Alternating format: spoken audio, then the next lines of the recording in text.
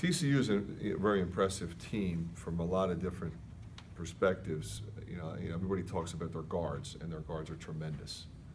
Uh, Obviously, you know, uh, great quickness, you know, kind of a throwback backcourt.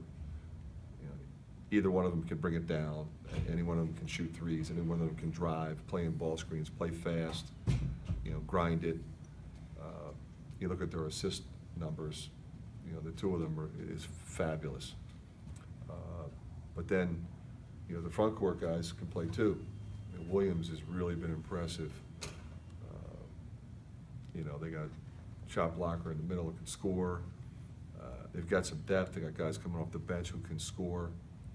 Uh, Obviously, uh, you know, I know Jamie well, I've coached against him before, you know, and watched him in, in Pitt all those years. You know, one of better coaches in college basketball, for sure. And he's got them playing at a very high level. You know, they move the ball, they have a lot of weapons, yet they really share the basketball, and I think that's been the most impressive thing to me.